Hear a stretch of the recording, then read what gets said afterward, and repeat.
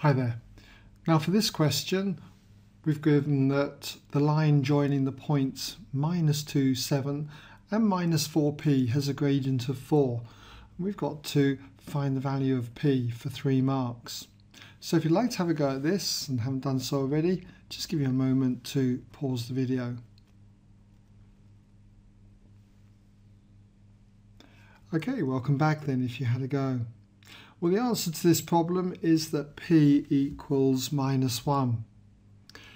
Now, if you're unsure of this, then you've just got to be familiar with what gradient is defined as. It's the difference in the y-coordinates divided by the difference in the x-coordinates.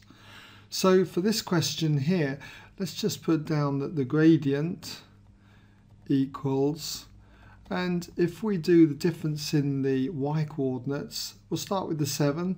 So we'll go 7 minus p, and we divide this then with the difference in the x coordinates. So starting with the minus 2, we've got minus 2 minus minus 4. It wouldn't matter if you did it the other way around. You could do p minus 7 as long as you divide it by minus 4 minus minus 2. You'll get exactly the same answer as I get here.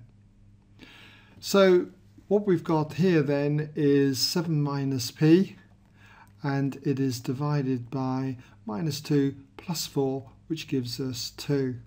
And we know that this gradient we're told is 4 so therefore 4 equals 7 minus p divided by 2 and I've just got to solve this for p by multiplying by 2 so you get 7 minus p equals 8 and then if I add p to both sides and subtract 8 from both sides, you get p equals 7 minus 8.